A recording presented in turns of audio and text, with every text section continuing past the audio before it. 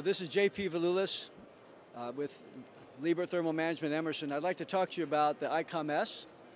This is a new supervisory control for thermal management of data centers.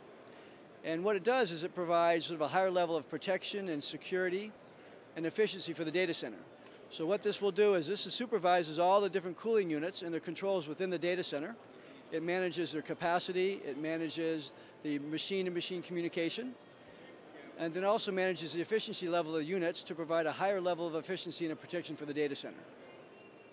For example, what this will do is if you have maybe four or 10 units or cooling units in your data center, this will coordinate the activity of all those different units to provide a high level of efficiency. And if something maybe happens in one part of the data center, the different units will, will coordinate and collaborate through this control to sort of get rid of that hotspot or to eliminate a problem that might be in the data center, thus providing you the higher level of protection. Okay, so I'd like to talk to you about the new iCOM control, and this is a control we use in our data center cooling units. And the new control provides sort of a couple of benefits. One is you can see here just a little bit easier to use user interface, number one.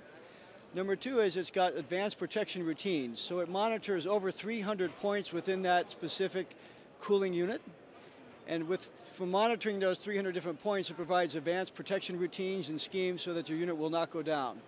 It also has built into it so facilitation of machine-to-machine -machine communication so it can coordinate with different cooling units to provide the higher level of protection and efficiency.